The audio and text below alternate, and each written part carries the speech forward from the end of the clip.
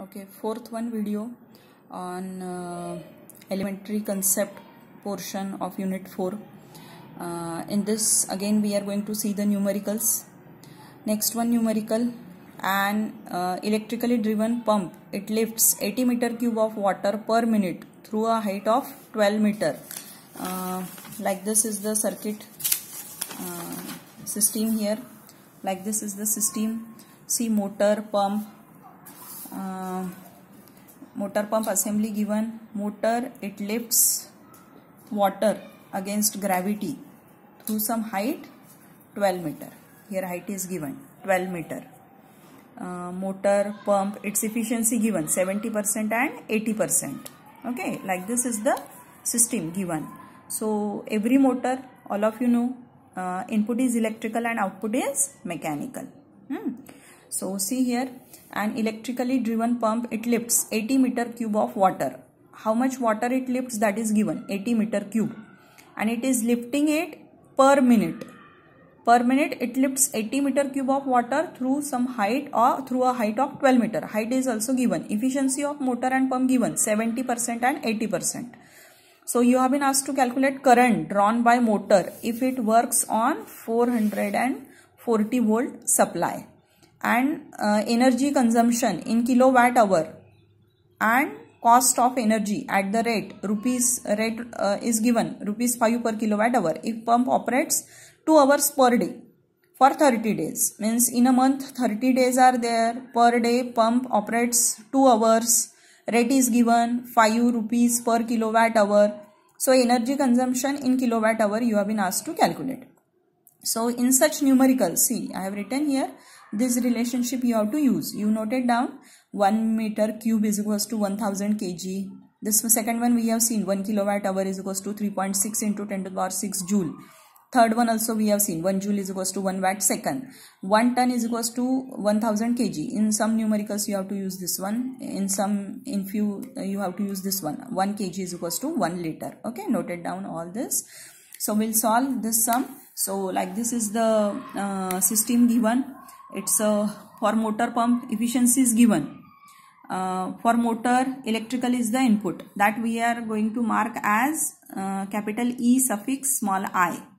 Okay? And output is mechanical. Motor pump so for motor electrical is the input and output is mechanical. So E0 is the output and input is EI now if you see this motor pump assembly it lifts water 80 meter cube through some height 12 meter against gravity g. So output mechanical power is mgh. So mass given is in 80 meter cube. Whenever we use the formula E0 output is equals to mgh, here mass should be in kg. Given is in 80 meter cube. So 1 meter cube is equals to 1000 kg. That's why 80 into 1000. That is 80 into 10 to the power 3 kg. G 9.81 height 12.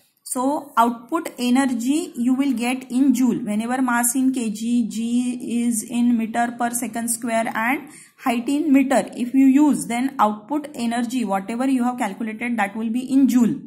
Okay. Now here if you see for motor and pump efficiencies are given.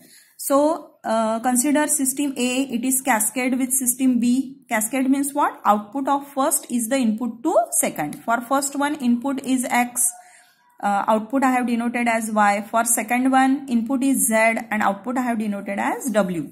So for the first one, what is the efficiency of A system output by input? That is Y by X. For second system, its efficiency of B system output by input that is W by Z. Here Y and Z are equal because output of first one is the input to second. So if you take its product efficiency of first one into efficiency of second one is y by x into w by z. Here y and z are equal. So you will get it w by x means total output upon total input. Same relationship we will use for this means product of efficiency of motor and pump is equals to E0 by EI. We can use. So using this we are using this one formula. Now here efficiency you know output just now we have calculated in joule mgh so input also you will get in joule because output is in joule. Okay. So input we can calculate in joule.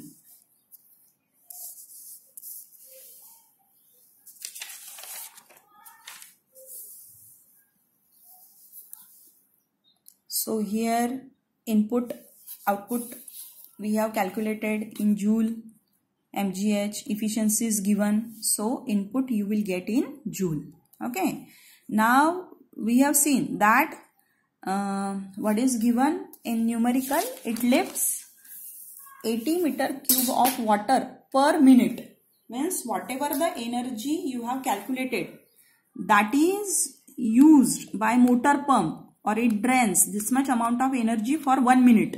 That is 60 second.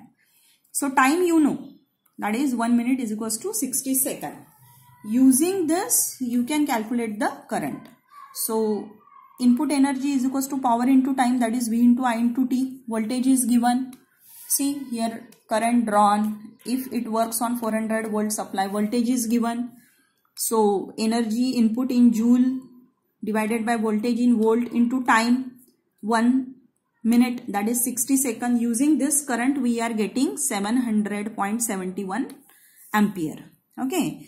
Now this much of energy is used for uh, 1 minute that is 60 second. What you have been asked to calculate energy consumption in kilowatt hour if pump operate for 2 hours per day. So if for 1 minute that is 60 second this much of energy whatever we have calculated okay. So how much it will be for 2 hours? 2 hours convert into second so this into this divided by 60 you can calculate the energy used by motor pump per day because per day it operates for 2 hours so energy we got for 1 minute. Using that we have calculated energy for 2 hours that is per day. That will be in joule. Joule we can convert into kilowatt hour. Uh, we know 1 kilowatt hour is 3.6 into 10 to the power 6 means joules whenever you wanted to convert into kilowatt hour divide joule by 3.6 into 10 to the power 6 means that will be energy consumption per day for 2 hours in kilowatt hour. So we are getting it 560.57 kilowatt hour. So it's a energy consumption per day in kilowatt hour. Okay, joule we have converted in kilowatt hour. So uh, this is per day energy consumption. It's given you have to calculate energy for 30 days. So per day into number of days will be the for the month. So monthly energy consumption will be uh, 16,817.14 kilowatt hour.